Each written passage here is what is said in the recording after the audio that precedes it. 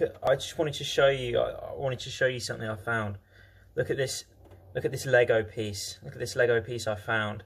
It's really cool. I really like this. This is really good.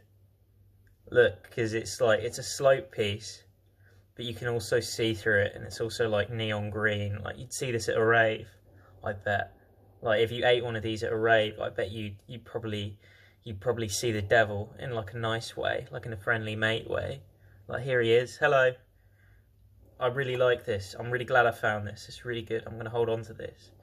This is a really good Lego piece. Um, I that's that's all I've really got. I just wanted to share that with you because I found it and I thought it was really cool.